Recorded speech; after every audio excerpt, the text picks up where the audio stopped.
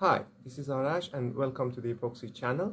In this channel we're going to talk about the epoxy resins from the theoretical aspects to the most practical ones. So if this is the first video that you're watching or if you're interested in epoxy resins, please like and subscribe to our channel for more videos. Today I'm going to present mechanical and physical properties of epoxy resins.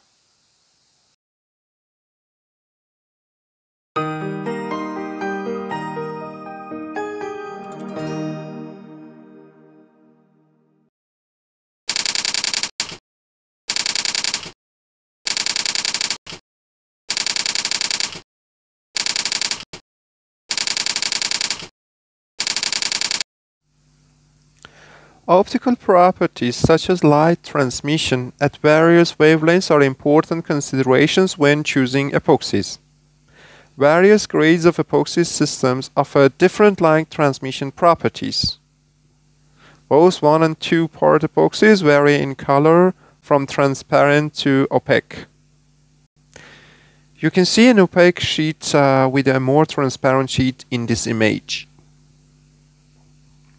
Some applications require uh, require a transparent product. For others, amber clear is acceptable as long as light transmission is good. Sometimes opaque systems. Okay, let's introduce a few terms now. Absorption. When light passes through a medium, certain wa wavelengths are lost. This is called absorption. Emission. When a medium is excited, light is given out by it. This is emission. Reflection. Light bounces back to the same medium beyond certain laws. This is reflection. Light is reflected. And uh, refraction. Light bends at the interface of two optical media due to the change in the speed of light. This is refraction. Okay, concerning epoxies, Optically uh, clear epoxies have excellent light transmission from 0.35 to 2.2 micrometer milliseconds are needed. Light transmission values from 200 nanometer up to 5 micrometers are of particular interest to many optical uh, engineers. Nearly all light transmission epoxies perform well from 350 nanometers to 2.5 micrometer. About 2.5 micrometer epoxies uh, vary greatly in their ability to transmit light. Another optical property is an index of refraction upon cure Refractive index or index of ref refraction is a value calculated from the uh, ratio of the speed of light in a vacuum to that of a second media of greater density. In our case here, the epoxy. This value normally ranges from 1.5 to 1.65. Finally, a surface luster or a brightness is gloss. A gloss meter, also gloss meter, is uh, an instrument which is used to measure the specular refraction or gloss of a surface. Gloss is uh, determined by projecting a beam of light at a fixed density and angle onto the surface and measure the amount of reflected light at the equal but opposite angle.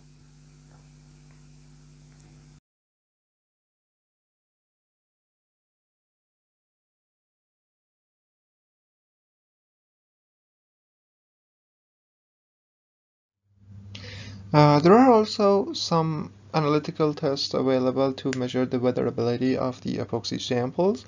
Uh, based on the applications, uh, the epoxy resins or epoxy coatings might expose to light, water, temperature, and different temperatures, especially when they are supposed to be used for exterior uh, kind of applications. So in this type of test, we are about to simulate what happens uh, during months and years of performance. So uh, in order to measure the weatherability, we often use by accelerated weathering tester QUV, uh, which uh, simulate the conditions for um, for the damage caused by sunlight and rain and uh, dew. So with water spray, can reproduce the damage that occurs over months or years outdoors in just a matter of a few days or weeks. Material are exposed to uh, alternating cycles of UV light and moisture at controlled uh, elevated temperatures, and after that their mechanical and chemical properties will be analyzed. Considering other uh, properties of epoxies, we should mention chemical uh, resistance. Uh, as it has been said before, uh, epoxy resins show great chemical, solvent, and water resistance and uh, but they're uh, susceptible to chlorinated hydrocarbons like uh, trichloroethylene, uh, methylene chloride, and carbon tetrachloride. Uh, and uh, for example, this trichloroethylene is a non-flammable colorless liquid which is sometimes uh, used to, uh, for example, wipe grease from the metal surfaces and in industry it is used frequently. Uh, they also uh, their moisture ab uh, absorb absorptivity is kind of uh, good, so it means that they are not absorbing moisture that much. So chemical resistance, uh, we already said that the epoxy resins uh, chemical resistance is pretty good, but here we're going to talk about the analytical method to how to measure, for example, the chemical resistance. Chemical res resistance can be defined as the ability of a substance to endure itself from chemical attack for a specific period of time. Therefore, materials with high chemical resistance are uh, less likely to corrode. Chemical uh, resistance testing is carried out by immersing samples in various test fluids. The type of chemical reagents to be used are specified in application standards that to uh, reflect the intended service conditions. Uh, plastic and organic coatings are susceptible to creasing or uh, cracking following exposure to certain uh, reagents. The chemical resistance is usually measured by weight, volume, or dimensional change, a retention of tensile strain, elongation or impact strain, or visual uh, comparison with control after specific uh, immersion time and conditions. The resistance against uh, the chemicals is kind of provided based on these types of charts. In these charts, uh, in one column we have the chemical of interest. Uh, the row shows the materials that you're going to, for example, report these features for, and there are some letters which shows the which shows the uh, performance of your material against that that type of uh, chemical. C stands for cold conditions and H stands for hot conditions, 70 and 180 Fahrenheit. And uh, E stands for no attack to N readily attacked. So, uh, for example, when you're gonna see how uh, your epoxy works against alkaline, you can see that alkaline, epoxies, cold conditions, and E. E says that no attack. So your epoxy resin is kind of endure uh, against uh, alkaline in cold conditions.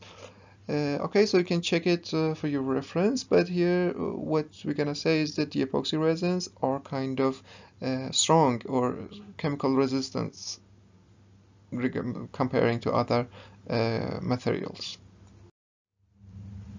Okay, the other important factor regarding the epoxies is their electrical properties. As it has been mentioned earlier, uh, epoxy resins show excellent electrical insulation properties and uh, they can be used for low voltage electrical insulation. Uh, they, they, the electric strain is uh, between 300 and 600 and the dissipation factor is between 0.003 to uh, 0.006. We have mentioned that electrical properties of epoxy resins are kind of important and uh, based on these electrical properties we can use the epoxy resins for uh, insulation purposes in electrical and electronic domain. And the analytical tests for electrical properties are dielectric constant, uh, electro electrical resistance, uh, dissipation factor, and electron conductivity or uh, elect dielectric strengths. Uh, in all these samples, we are about to, for example, apply uh, electrical field or voltages, and we measure the performance of a sample. Uh, based on these data, you can, for example, see if your resin is kind of suitable to be used for electrical purpose or not.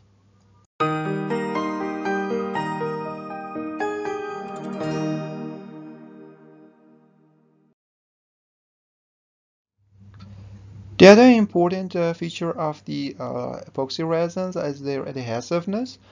And uh, in brief, uh, it should be mentioned that epoxies are kind of excellent adhesives. And adhesiveness is the property of sticking together uh, or the joining of surfaces of different compositions together. And uh, as I said, the epoxies are excellent adhesives, and this is because uh, of their polar nature. Oxirane and glycidyl rings open to form polar OH groups in curing, uh, and also uh, they have the ability to uh, wet different types of surfaces. But uh, the high cost of epoxies limit their uses as adhesives, and instead, melamine formaldehyde and phenol formaldehyde types of resins are often used for adhesives. So, an analytical method for adhesion, uh, we should say that sometimes your material or epoxy resin is supposed to be used for adhesion um, feature uh, adhesion purposes and the aim of these kind of tests is to see uh, how uh, your material or, or how your epoxy resin works as an adhesive.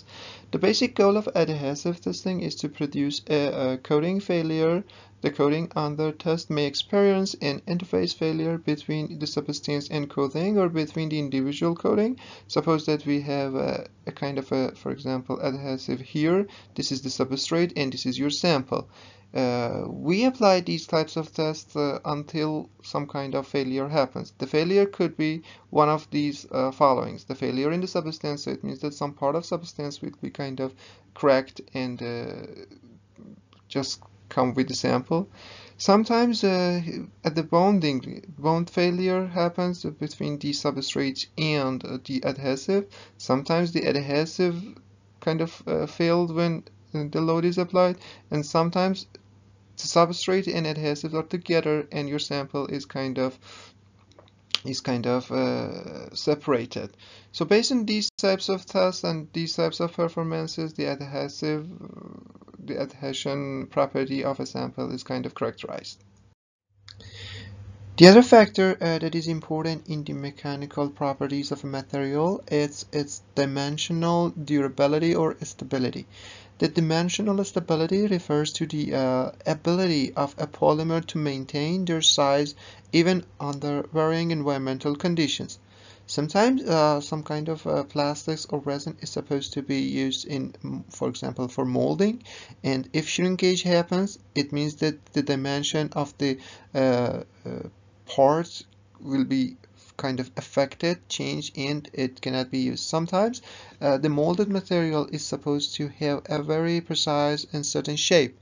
So dimensional durability and stability is kind of uh, necessary for those kind of applications.